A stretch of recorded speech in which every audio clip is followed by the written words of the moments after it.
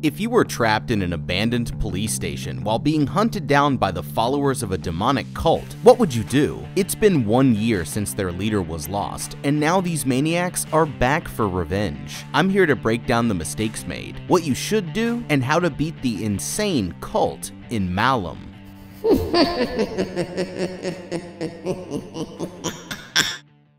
It's this rookie cop's first shift, and everything is going to hell. These girls were enjoying a nice relaxing day at the river until someone took them to a pig farm in the middle of the woods where they were met by a group of strange women in old-fashioned clothes. It looked like they could tell something wasn't right, but they had no idea just how horrifying things were about to get. That night, they were taken out to the barn, tied up with sacks over their heads, and forced to kneel in front of some makeshift demonic throne. The cultists sang and danced with joy as their leader pulled one of the girls to the center of the room, slicing her forehead with a ritualistic blade before brutally killing her and feeding the body to his pigs. Police raided the farm, saving the remaining three girls, but back at the station, the officers noticed that the captain was acting strange. These two officers were working on their target practice when out of nowhere, the woman's head exploded into a bloody pulp. The captain had snapped, massacring everyone at the station with his shotgun. One year later, his adult daughter Jessica decides to follow in her father's footsteps and become a police officer herself, determined to clear her family's name and find out the truth about what happened. Before going to the station,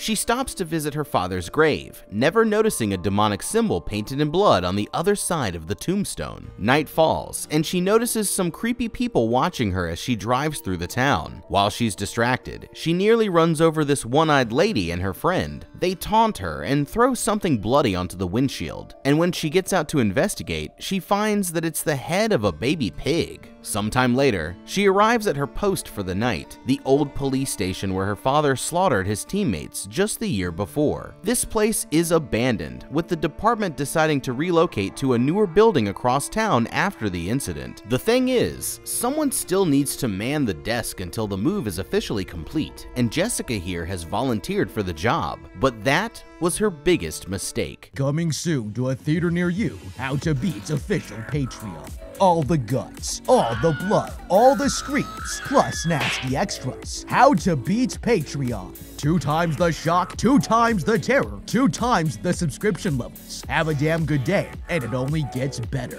Both levels bid you welcome to pre-sales for Ghoulish official How to Beat merchandise and support the evil scientists behind the How to Beat videos. It only gets better subscribers are invited to the X-rated party. Ad-free and uncensored videos too repulsive for all audiences are available on demand. How to Beat's Patreon. In space, no one can hear you scream, but on Patreon, everyone can see you bleed. How to Beat's Patreon. Join us if you dare.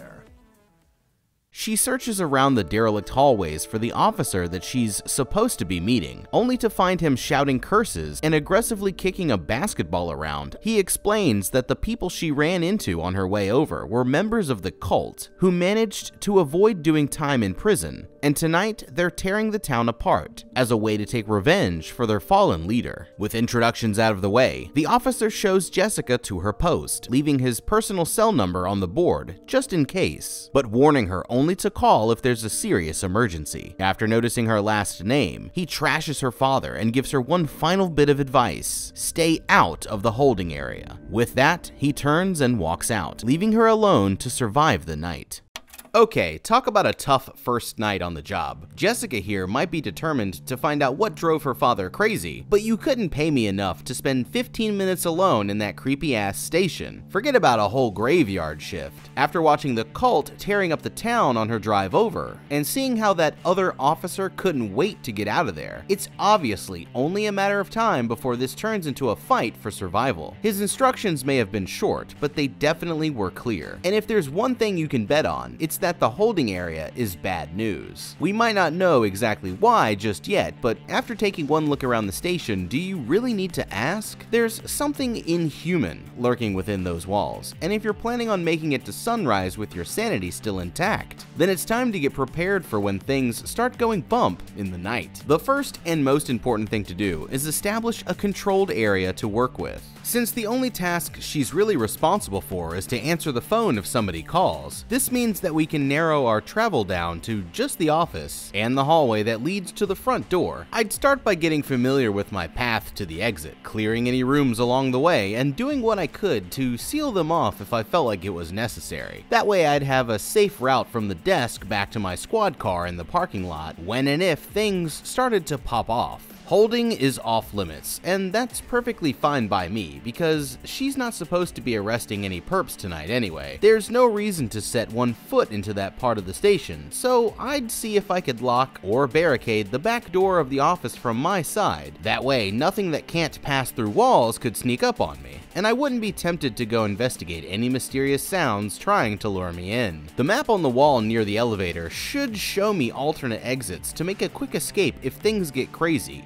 I'm cut off from the front door. So for now, there's no need to go exploring anywhere else. Just sit tight at the desk, keep your eyes on the security cameras, and get ready to shoot first and ask questions later. If any of those cultist creeps try anything funny, if you don't go poking around anywhere you shouldn't, then making it through the night will be a breeze. But something tells me that Jessica here isn't going to stay out of trouble for long. As quickly as the other officer is gone, strange things start to happen. She hears unexplained noises coming from Holding, but decides to take his advice for now and doesn't investigate. As she's settling in at the desk, the elevator bell dings and it sounds like it's moving, but nobody gets off. Now that she has the station all to herself, Jessica goes for a stroll and finds her dad's old locker, noticing that it's the only one that's still locked up. Behind her, she hears what sounds like someone's bare feet running on a wet floor, but when she goes to check it out, she's immediately distracted by another strange noise the sound of the basketball bouncing somewhere in the hall. She walks to the gym to investigate, thinking that it must be the other officer, but the ball is sitting in the middle of the room with no one in sight, and when she looks up, she sees the shadow of her father watching her from the other side of the hall. Frightened, she flips on the lights and the man disappears, just as a buzzer sounds through the intercom.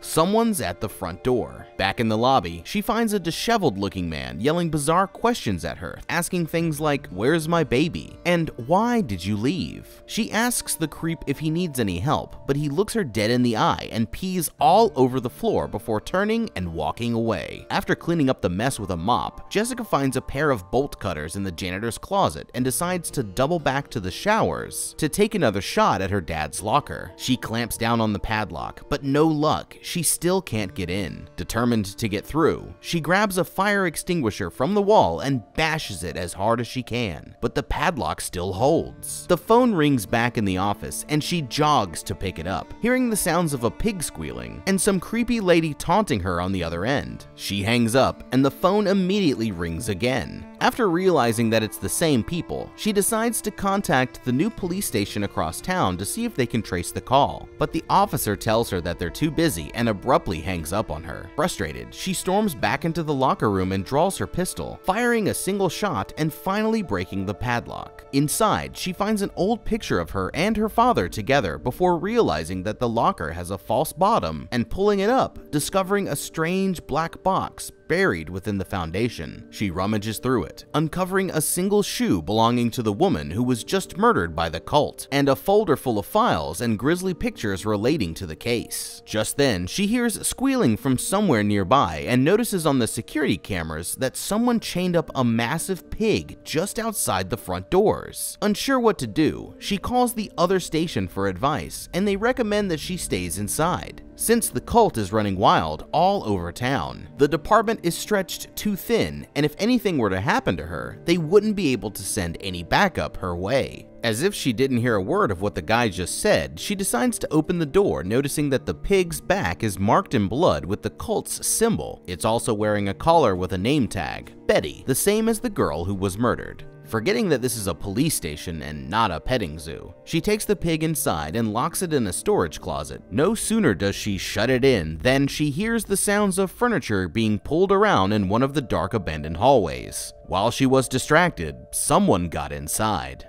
Okay, things keep going from bad to worse for our rookie cop. With everything that's been going on, opening the doors to bring that pig inside should have been totally out of the question. especially after receiving all of those prank calls from the cult and noticing that it was named after one of the girls they killed. If their pet is showing up on your doorstep, then the creeps who own it must be nearby. And the smartest thing to do would have been to leave it out there until the morning, just like the other officers said, instead of taking the obvious bait things were already looking bad enough to the point that I'd strongly consider saying screw it and just going out to the parking lot to spend the rest of the night scrolling TikTok from the safety of my squad car. Unexplained noises, elevators turning on by themselves, and hallucinations of your dead dad practicing his layups can only mean one thing. This station is home to an inhuman spirit, most likely a demon. To make matters worse, now someone, or something, is moving furniture around one of the abandoned parts of the building. And that's all I'd need to hear before packing it in for the night.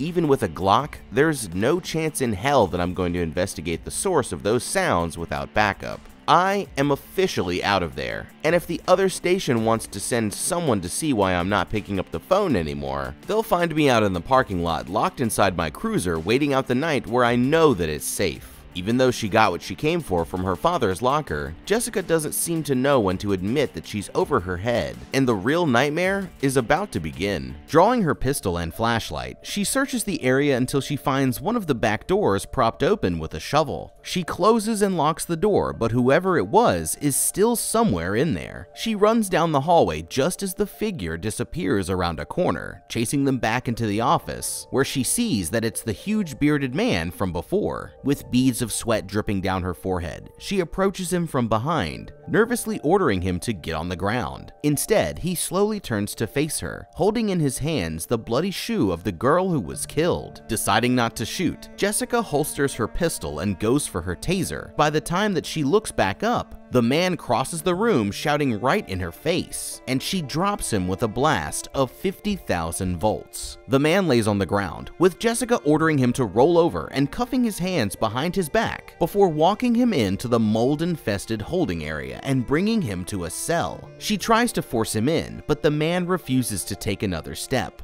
resisting with everything in his power and screaming out in terror. Determined to get the man inside, she steps through the door and begins dragging him in by the shoulders. But that's when the heavy steel door swings shut, trapping her inside. Panicking, she pounds on the door, but it's locked tight, and when she tries to call for help over the radio, she only hears static on the other end. Suddenly, the man rushes past her towards the door, causing her to drop her flashlight. She tries to pick it up, but can't find it, only for for it to click on from the other side of the cell, shining directly in her face. Looking away, she orders the man to give it back as the light slowly glides across the room, showing that he's actually cowering in the corner. They're not the only ones in the cell. Jessica screams and goes for the door, but the flashlight rolls back over to her, and when she picks it up, three hanging bodies drop from the ceiling just a few feet away. She notices that the door is finally open and locks the man inside, stopping to catch her breath out in the hallway and trying her best to remain calm.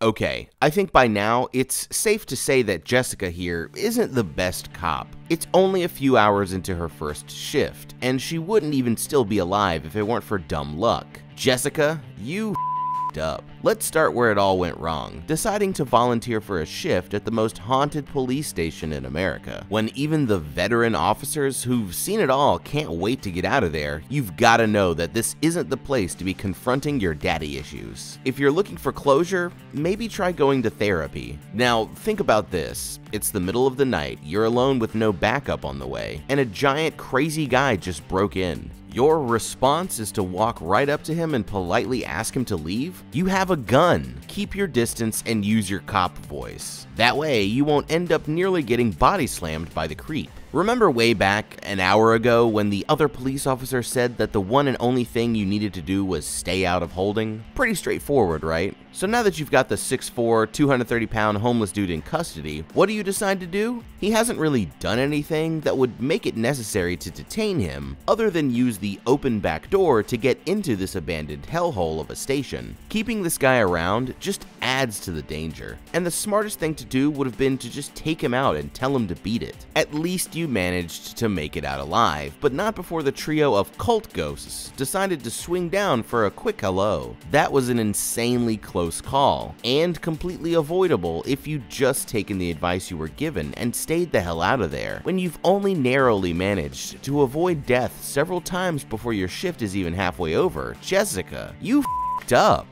After heading back to her desk, she decides to call the original officer's personal phone for some advice, doing what she can to sound professional even though she's clearly starting to lose it. She asks him if he's seen things that weren't really there, and he immediately knows that she went into the holding area, warning her that that place is full of black mold that can cause hallucinations. Annoyed that she called so late at night, he tells her to shut up and do her job before hanging up the phone. Jessica picks up some of the old files that the homeless man was throwing around when she caught him, and realizes that they're full of disturbing drawings all bearing the cult's mark. The Totem of Temple Baron, a pre-biblical demonic entity that psychos worship. Under the box, she finds a mysterious thumb drive and decides to check it out. As she goes out to get her laptop from her squad car, someone drives by and throws a beat-up looking lady into the street before speeding away. She brings the woman back to the office to give her some first aid, but while they're talking, she zones out, staring at something out of sight behind her. Snapping out of it, the woman explains something terrifying. Although the media reported that the cultists were killed by the officers during the raid last year, the truth is that she was there that night and saw them brought into the station where they eventually all hung themselves. Before she can finish, the woman starts to freak out again, staring at something over Jessica's shoulder and promising an unseen person that she won't say anything more before shouting out some sort of disturbing incantation. Deciding that she's had enough, Jessica orders her out of the station and the woman leaves.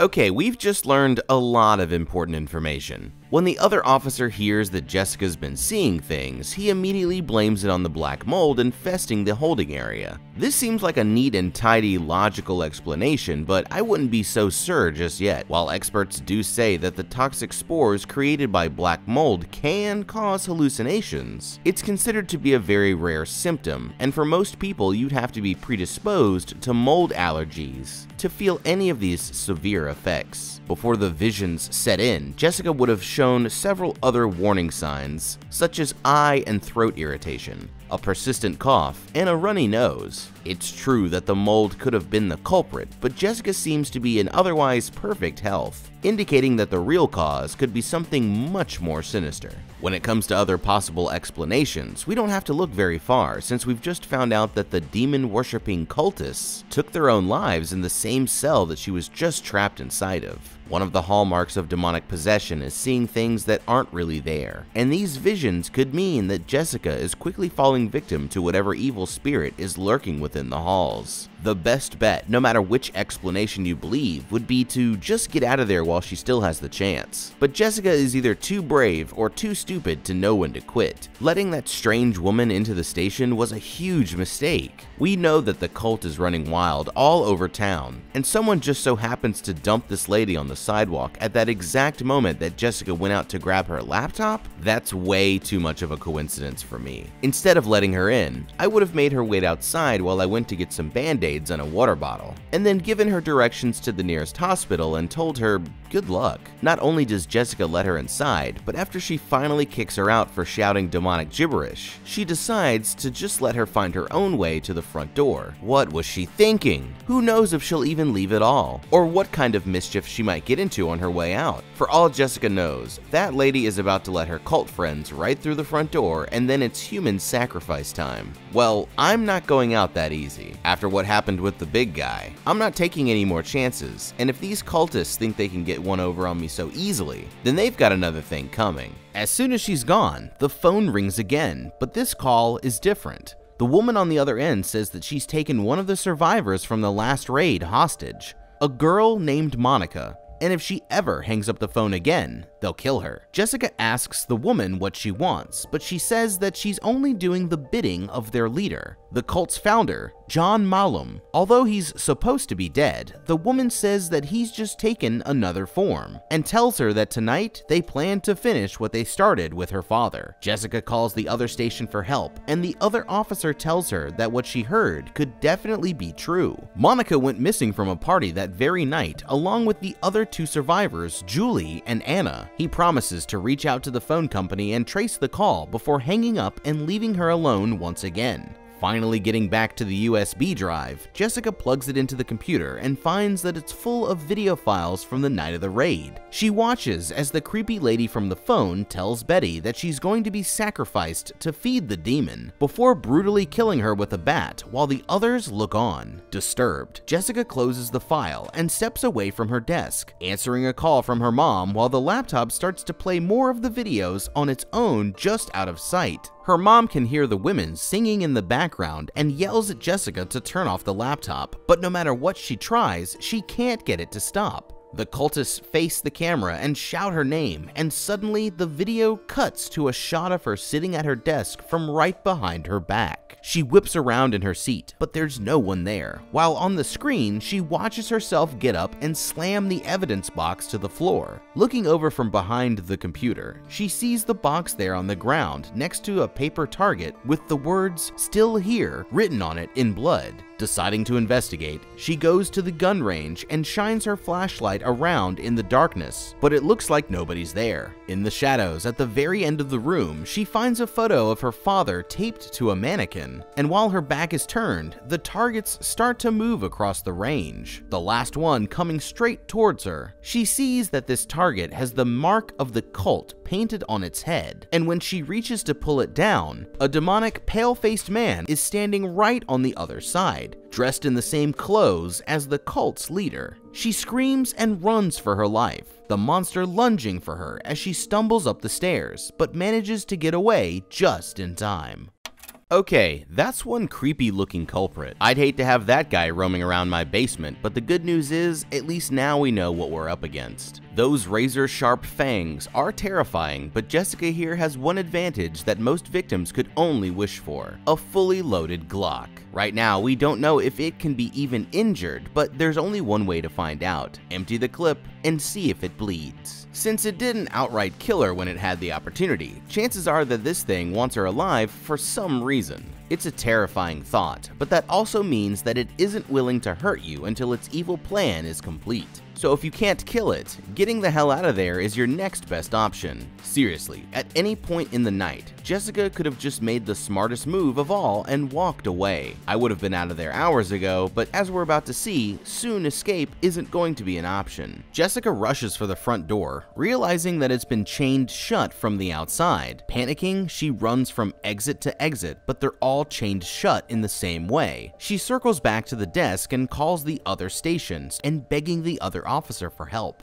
He tells her to stay strong and promising that he'll send over some officers to get her before hanging up to answer another call. The phone rings again, and this time it's the cult singing on the other end. Her radio starts to play static, and the elevator dings, groaning to life. She takes out her pistol, waiting to blast whoever gets off, but the door never opens, and the basketball slams into it from behind her, thrown across the room by some unseen force. With all of this going on, her laptop starts to play footage of the cult members being escorted into the station and interrogated by her father. What they say is mostly just insane ramblings, but the important takeaway is that they worship some being called the Low God, and John believes himself to be its vessel on Earth. Her father stands up and leaves the room, checking the hallway as if he saw something outside. Rewinding the tape and looking closer, Jessica notices a massive demon with an inverted pentagram-shaped face, the Temple Baron appearing for the first time. Suddenly, someone throws a sheet over her head, and she's wheeled through the halls on a gurney, paralyzed with fear. The man takes her into the department morgue, along with the bodies of John and two women from the cult. Instead of trying to break out or fight back, she only lays there crying. The bodies convulse, as if coming back to life just as a group of cultists breaks in, wheeling some of the bodies away. Finally able to move, she unzips the bag and sits up, screaming in horror as one of the bodies also sits straight up. Terrified, Jessica falls to the ground, picking herself up and realizing that she's now back in the office. She hears someone call out to her from the hallway and approaches with her pistol leveled, but it's only two officers there to retrieve the homeless man in the cell. The officers introduce themselves and she hands them the cell keys. One of the men reluctantly going to get the prisoner out of holding. The other officer tells Jessica that he has something to show her, and she follows him to a storage closet to see what it is. He reaches down behind a filing cabinet and pulls out something disturbing the very same shotgun that her father used to massacre everyone at the station before turning it on himself warning her not to touch it. He bends down to put it back, and when he stands back up, his head is suddenly a gory mess. Jessica spins around to run, turning straight into her father, who raises the shotgun and fires. But when she takes her arms down, she sees that now she's somehow in the cult's barn.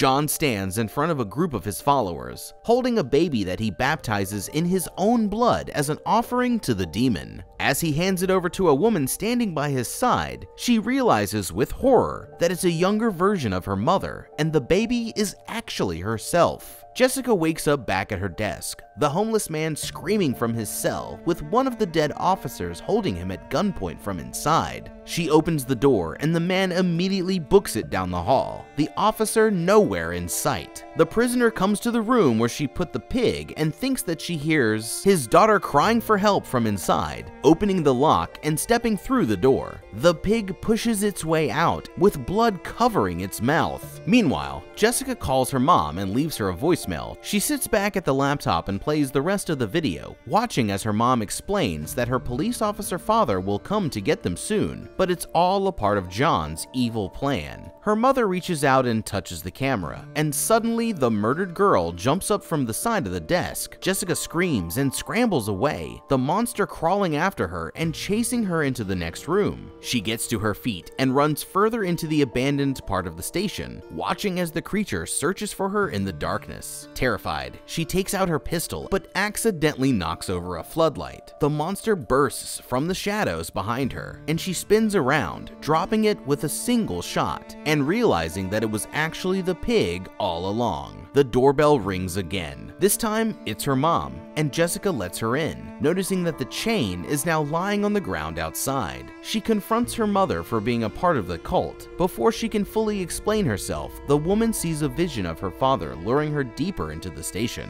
As they come to the office, she hears a scream from somewhere in the halls, and tells her mom to stay put while she goes to find out who else is in there. She enters the gym and finds the one-eyed lady holding one of the girls at gunpoint. It's a tense standoff, but Jessica gives in and puts away her weapon, asking the woman what she wants. The cultist explains that her time has come, and she needs the power from spilling human blood to complete the ritual, cocking her revolver and executing the girl right in front of her. Jessica raises her pistol, hitting the woman and killing her. Suddenly, a massive gang of cultists rushes at her from the shadows, and she runs for her life, locking the gym doors closed with her handcuffs. Okay, just got real. Jessica here got one back for that poor victim and opened up a new eye hole in the Cyclops with the cowboy revolver, but she missed out on a very important detail. Just before she took the shot, the psycho explained to Jessica that she herself is the most important part of the cult's ritual and needs to spill human blood to make it work. Now, as tempted as I would be to go back to the storage room, grab that shotgun and start John Wicking my way through these freaks like they deserve, the reality is that this is exactly what the cult wants me to do, so I need to come up with another plan. Escape is always an option, especially now that the chains are back off the front door, but the problem is that the cult is only going to keep coming after her even if she manages to get away. She can't kill them one at a time, since that runs the risk of her accidentally giving the demon power and fulfilling the dark ritual. So if she's going to put an end to this once and for all, she needs to take them out all at once. What better way to do that than to burn the whole station to the ground with them still inside? This station is full of flammable junk, so with her taser and some chemicals from the janitor's closet, she could easily turn this place into an inferno, using the chains to reseal the exits and picking off any cultists that somehow managed to escape.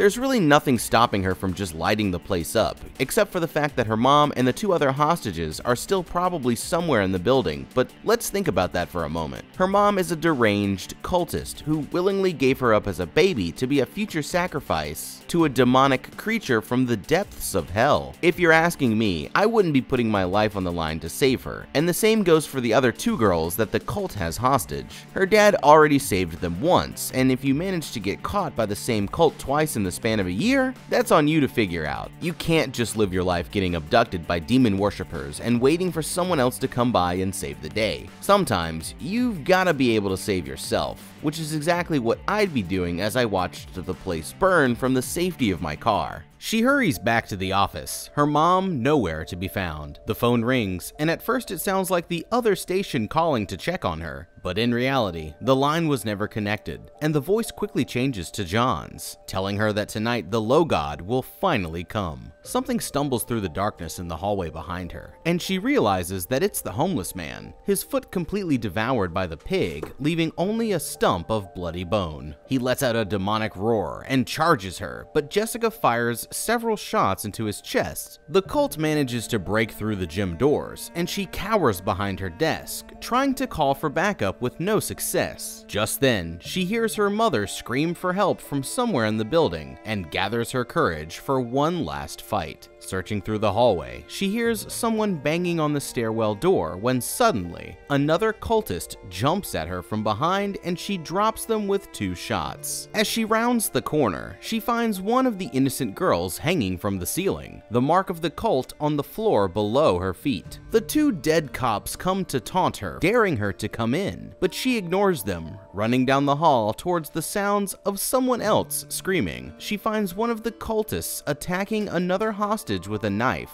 and fires. The man reaches over and slits the girl's throat, and Jessica shoots him in the head. She runs to put pressure on the girl's wound, trying her hardest to stop the bleeding, but the girl dies there on the floor. Looking up, Jessica sees her father walk by at the end of the hall and goes to the locker room to confront him. She asks him why he hurt those people, and in a demonic voice, he simply responds that he had to. Suddenly, one of the cultists fires at her and she shoots back but misses, her father disappearing once again. Back out in the hall, another creep rushes across and she fires. She makes her way into the holding area where the mold has almost completely taken over, killing two more of the psychos and finding the last hostage still alive hanging in a cell. Jessica tries to cut the woman down, but something tightens the rope, amputating three of her fingers before completely decapitating the girl, covering her face in blood. Defeated, she looks up and sees something there on the ceiling, emptying her gun at the unseen creature with no effect. She needs another weapon, so she goes to the storage locker to grab her father's shotgun, ready to finish this off once and for all. Following the sounds down into the basement, she finds two of the dead cultists there taunting her from the gun range but instead of attacking, they only point her into the next room. Turning the corner, she sees that the cult has built another demonic throne, and it looks like her mother is sitting in it surrounded by candles with a bag over her head. Jessica creeps forward, carefully removing the bag, but instead of her mother, a zombified John snarls back at her from underneath. She tries to run, only to be cornered in by the rest of the cult, and they slowly part to reveal something huge with glowing eyes looming in the shadows. The cult chants as the Temple Baron walks towards her, unaffected by the blasts from her shotgun. Standing over her, it roars as its face detaches from its body and onto Jessica's head. The next thing that she knows, she's back upstairs in the hallway with the demonic cult leader standing right in front of her. She fires into its chest, dropping it to its knees, but just as she's about to deliver the kill shot, she sees that it wasn't John after all. It was her mother.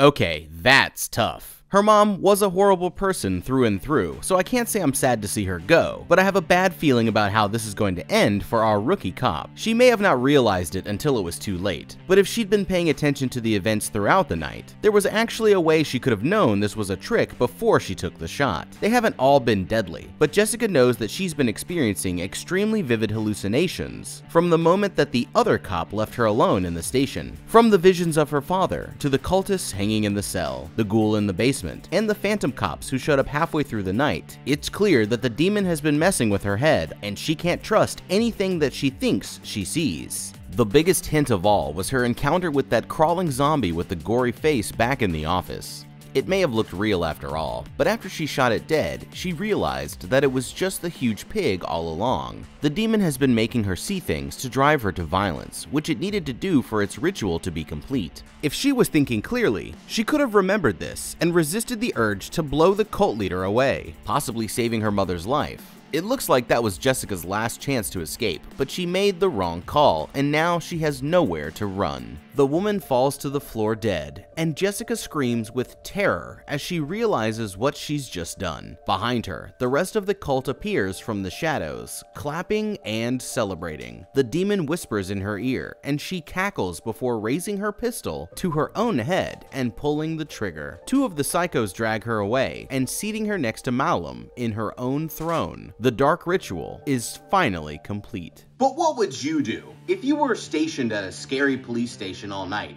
Would you pull a Leon Kennedy from Resident Evil 2 and speedrun through the evening to get that S rank? Or would you sit there like a scared little kid and let the demonic forces of the evil night take you alive? Thank you so much for watching. Leave a like and comment down below on how you would survive the spooky police station at night. Remember, we upload on Wednesdays and Saturdays, so we'll see you again during the week. Until next time, have a damn good day.